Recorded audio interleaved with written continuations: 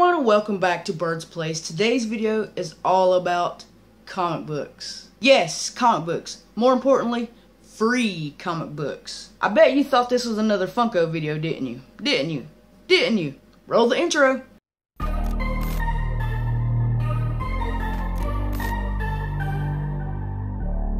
Yes, ladies and gentlemen, I'm going to show you how to get your very own free comic books. Before we get started, go ahead and click that subscribe button. If you're not subscribed already, be sure to hit the bell icon to be notified when I post new content. And as always, please give this video a like. Oh my god, that's so terrifying. It's just... Uh, oh my god. What in the world is going on here? Can't wait.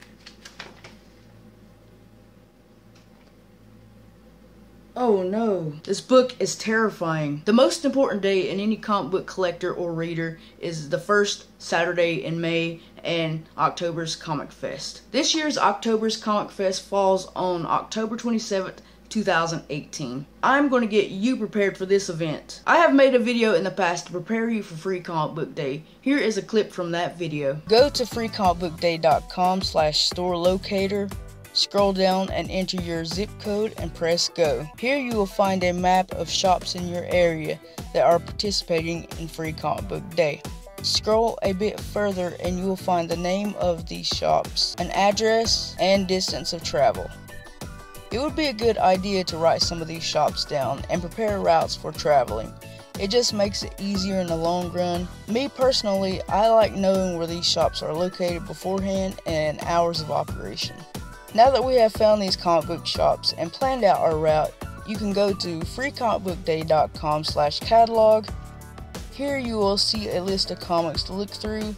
I suggest writing down a few comics that interest you and that will be your first pick. Remember, you may be limited, so make sure you pick your favorites first. And tip 4, even though this is a free event, take some extra cash.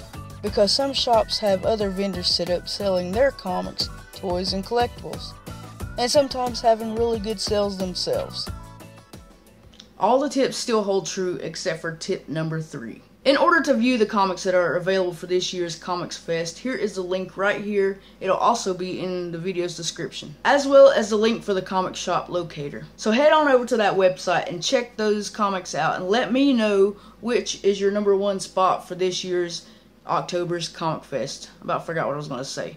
But yeah, let me know what your number one pick is from that whole entire event. Well, that's my time for now. I'd like to thank you for clicking and watching. Comment, rate, subscribe if you haven't already. Be sure to give this video a like if you did like it. Alright, my flock of collectors, I will catch you in the next one.